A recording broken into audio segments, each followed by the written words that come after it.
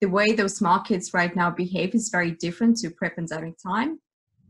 Um, pricing has changed as well. Um, hotels, so there is two ways of three, four star hotels decided to go into the price war. Luxury properties um, decided to, okay, they dropped the rates maybe by 30%, but they work more on the great value added benefits for the guests. So there's slightly two different strategies. And I think this, the fourth kind of I could add is profitability. And for me, that is the most important one, and it's where I've seen the biggest impact. So hotels are looking what are their product and services, which one is more profitable, um, and it, they go into quite a granular levels. So um, one of the simple examples is um, different breakfast offerings. If you work out the cost element, uh, not just for food and uh, drink that goes into it, but also staffing levels and any additional stuff that goes into that. Um, you will be able to work out profitability of each service, and, and then you start realizing actually what makes a bigger impact on your strategy and your profitability. So